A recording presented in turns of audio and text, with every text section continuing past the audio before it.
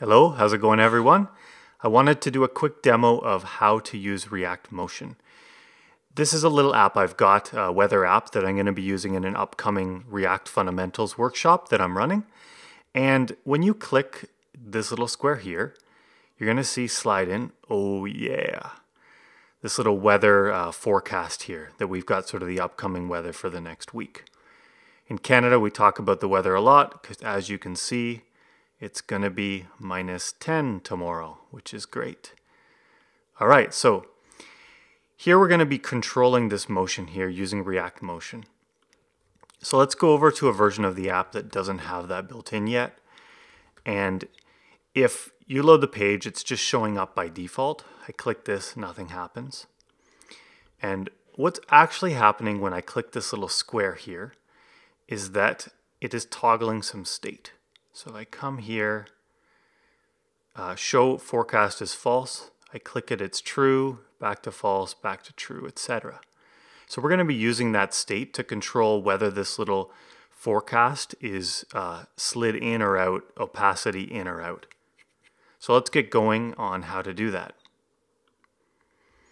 So the first thing we're going to do after you've installed the correct package here, React Motion, is we need to import a couple things. We're going to be importing a component called motion and a function called spring. And that will be from React Motion. Cool. So let's scroll down. Uh, there's a lot here, but you don't need to really know. It's not pertinent to this conversation. So we're going to come and we're going to be animating this forecast component here. So what we'll do is we'll wrap the motion component around this.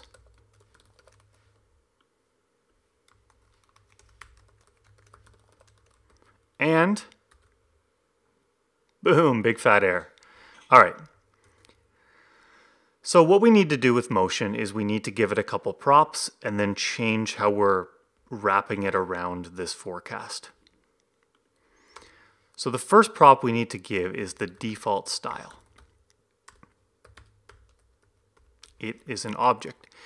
And this is the default or initial value of all of the properties we're going to animate. So let's say that we're going to animate something called x, which will begin at minus 200, uh, which would be like off to the left of the screen, 200 pixels, we'll say. And we're going to be animating the opacity, which will start at zero. The next thing we need to do is tell it basically where to animate those default values to. So we do that with a with a prop called style. And we're gonna, same thing, we're gonna change the X and we're gonna now use this spring function for the first time. So for now, we're just gonna hard code it that when the page loads, it will be at 200 and we want it to spring over or like to animate over uh, to zero, which would be like on the screen where it's supposed to, supposed to be. And we want to animate the opacity as well to one. So we save that. Uh, Prettier will do its thing. It's formatted nicely now. And you'll see that we still have this big fat error. And that's because what we need to pass to the motion component isn't another component, but instead a function. So we'll embed this here and we'll do an arrow function, which will return a value right away. So that's why these parentheses here. And what it's going to receive, we can call style and it's basically this object at whatever point in the animation. So when it first loads, it will be minus 200, and then it will rapidly change towards zero because that's what we've told it to go to.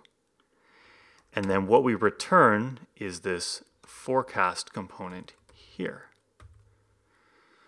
So if I load the page, it should work again, which is nice, but we're not using our animated values yet. So what we're going to do here is some inline styling. And typically I find that's the best way to, to use the, animate, the React Motion styles. So we're to, let's do the opacity first. So we're to say we want the opacity's value to be equal to the style, which is this whole thing here, opacity.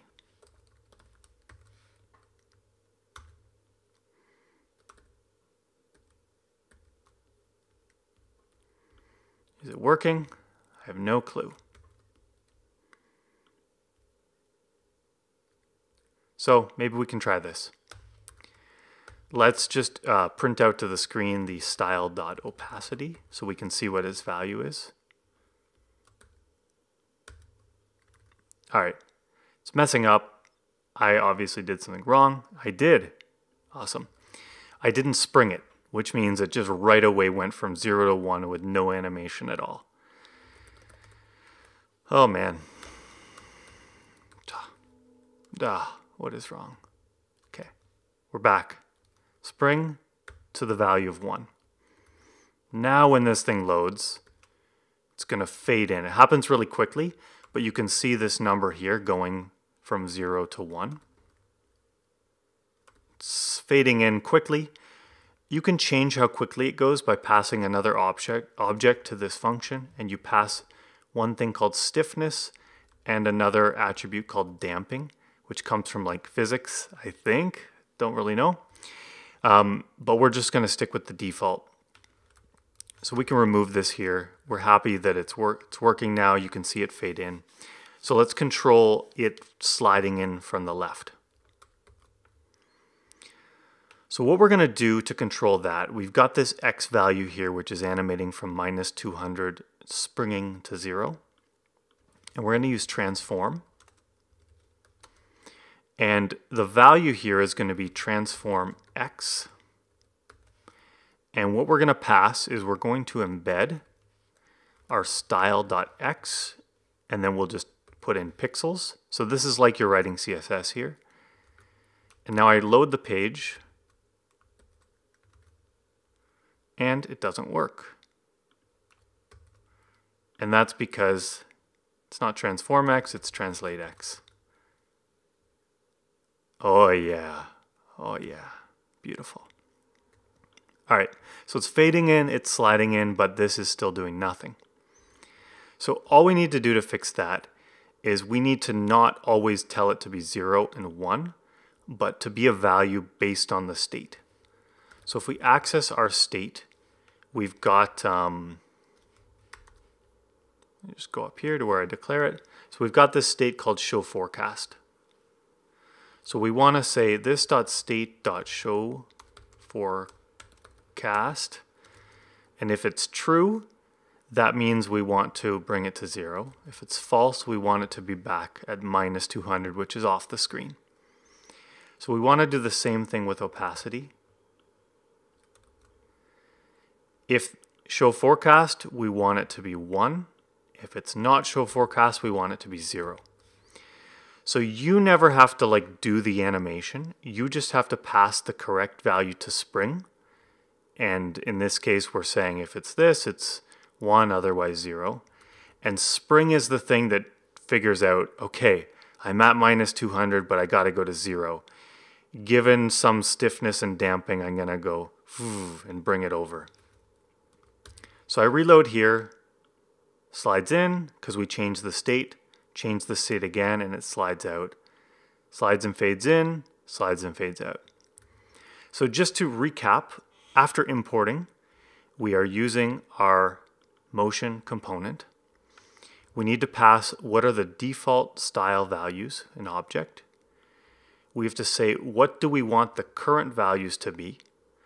And you typically always use spring here so that it doesn't happen instantly, but it, it sort of gradually changes from one value to another. And then what value it should be is often uh, determined by some state. So here we're using show forecast, where if that's true, we want it to come over to zero. Uh, otherwise, bring it back to minus 200. So once you got that set up, you need to pass a function here which will take the current value of the style, and we need to return our component that we want to render. And we're going to use some inline styles here to set a transform translate x using the current value of the x value that we're animating. And here we're doing the same thing with opacity. So we've got our style.opacity which will update constantly this value here. And if we just quickly go in and do some inspect on this, So here you can see our inline styles, which is at zero right now and one. I click this, you're gonna see that it's constantly being updated. In and out, in and out, and that's being controlled by React Motion.